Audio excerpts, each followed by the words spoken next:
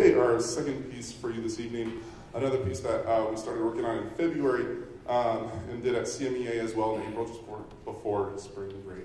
It's Robert Sheldon's Red Covered Bridge. Uh, I always really enjoy working on Robert Sheldon's music for concert band because he really understands how to write in a way that makes the band sound good.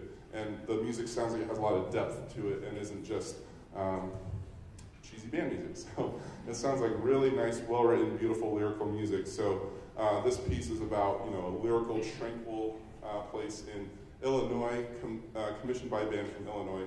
And uh, a good friend of mine, the director at Lynbrook High School, actually recommended this piece to me a couple years ago. And so finally got around to programming it this year.